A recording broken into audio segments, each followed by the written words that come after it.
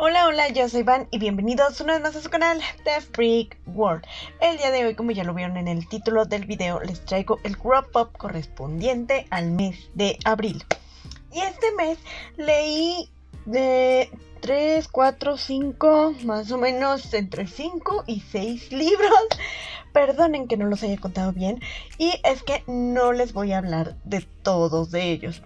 Y la razón por la que no les voy a hablar de todos es porque eh, ya hay un video especial, digamos que sí fue un especial, fue un reading blog que hice de tres libros. Y es que como ya sabemos, este mes es el mes de la mujer. Entonces digamos que yo haciendo como un honor y un tributo a todas esas mujeres que desgraciadamente no la han tenido tan bien y pues la han visto bastante difícil, ¿no? Y a todas aquellas mujeres que desgraciadamente también han perdido la batalla en un mundo tan crudo y tan violento, pues como que quise rendirle un poco de tributo por ese lado y leí tres libros de esta autora que es Christelle Buxka. Aquí en la cajita de la descripción les voy a estar dejando el link de ese video por si alguien gusta verlo o de todas maneras aquí en la i se los estaré poniendo para que vayan a verlo y sepan con más certeza de qué tratan estos libros.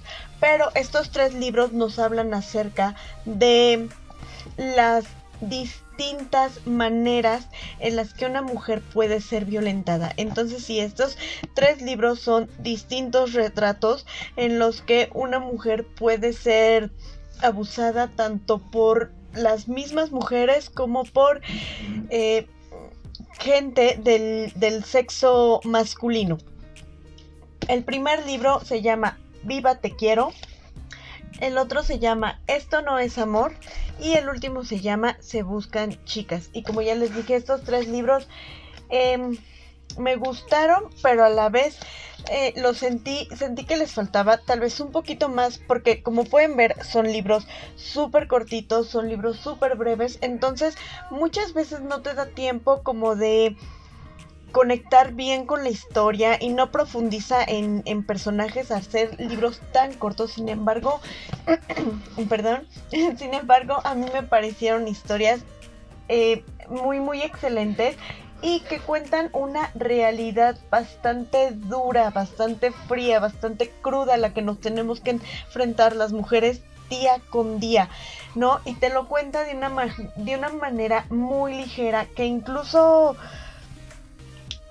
tal vez no niños, pero sí eh, tal vez gente de entre 11, 12 años podría leerlo. Y de hecho yo creo que sería como un poco necesario que este tipo de lecturas se implementaran en los en las escuelas porque la verdad reconozcamoslo en el mundo loco y violento en el que ya vivimos que nuestros niños niñas de todas las edades estén informados, podría, pues sí, tal vez podría ser un buen plan de prevención.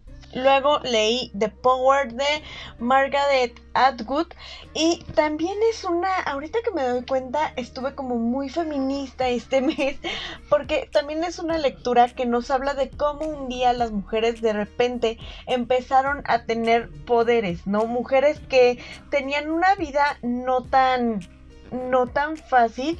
Sobre todo a mí el más relato, el, el, uno de los relatos que más se me quedó grabado es el de una chica que trabaja en una casa, pero eh, le digo chica porque sí, de hecho me parece que está ella en la adolescencia y trabaja en una casa, pero el, digamos que su patrón eh, se aprovecha de ella, ¿no? Entonces, de repente ella empieza a sentir este subidón de poder y pues suceden cosas bastante interesantes. Entonces, esta historia nos, nos, relata un poquito de qué sucedería en ese mundo un tanto paralelo en los que el hombre ya no son el sexo, el sexo dominante, sino de repente son las mujeres y por una cuestión también como de la, la, naturaleza de repente como que se despertó un día y le quiso otorgar a las mujeres que éramos las más, digamos que las más sobajadas por los hombres, les quiso otorgar un poder para que fueran superior a ellos y pudieran defenderse. Entonces es bastante interesante de leer. Me entretuvo, aunque no terminó tampoco de, eh, de cuadrarme del todo. En otras cosas se me hacía muy, muy lenta. Sobre todo los pasajes de esta, de esta chica que les platico son los que más me interesaban. Más me interesaba saber no es posible. Eh, más me interesaba saber qué estaba pasando que con ella que con el resto de nuestros protagonistas, porque nos empiezan a contar varias historias que aparentemente no tienen que ver una con la otra, pero de repente todas se encuentran como coexistiendo en el mismo tiempo, lugar y espacio. Entonces, es bastante interesante, pero para mi gusto siento que todavía le faltó tal vez como ese punch que yo me esperaría ver en este tipo de novelas. Luego estuve leyendo Las chicas de Emma Klein. No sé si ustedes ubiquen más o menos a, Charles Manson, este hombre que se volvió toda una leyenda porque dentro de... tuvo un culto bastante grande y bastante fuerte en su momento, el cual él llamaba que era su familia. Entonces, pues digamos que Charles Manson eh, cometía actos, pero pero indirectamente, porque realmente nunca fue su mano la que ejecutaba todos los crímenes que él cometió. Siempre eran las chicas que lo idolatraban. Entonces, esta historia nos habla precisamente de esas chicas. Obviamente los, los nombres y todo eso fue cambiado, pero pues más o menos trata de relatarnos qué pasó con esas chicas que seguían a, a este a este hombre. Este libro me gustó bastante, sobre todo llamó mucho mi atención porque estamos acostumbrados a ver el punto de vista, digamos que desde la víctima o desde el victimario. Sin embargo, estas chicas fueron como un poco de ambas cosas porque si bien sí fueron víctimas de Charles Manson, también fueron victimarias de muchas otras gentes, ¿no?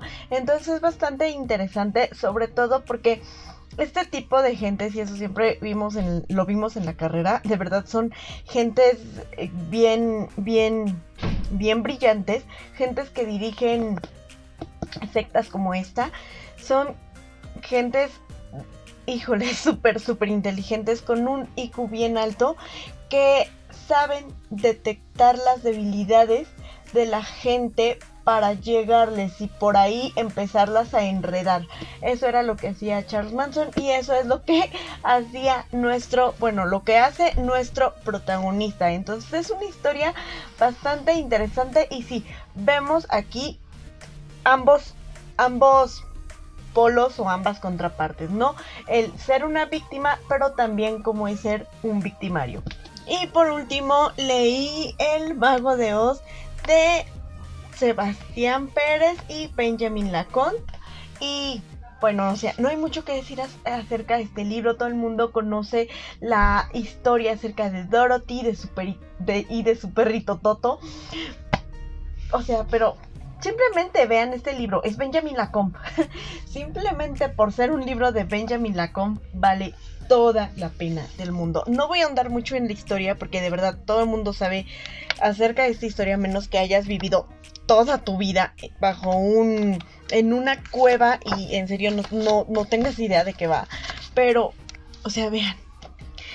Vean, a mí me encanta este ilustrador y me volví súper, súper fan de él debido a mi prima que era, bueno, que es muy fanática de, del señor, de Benjamin Lacombe, pero es que vean, o sea, en serio que tiene tremendo talentazo, entonces, simplemente por eso, simplemente por eso este libro ya es toda una joyita. O sea, a cada rato, todo el tiempo vienen ilustraciones preciosas. Es una edición súper chula. Pues sí, no hay nada más que decir y también la historia nos deja un muy bonito y enternecedor mensaje.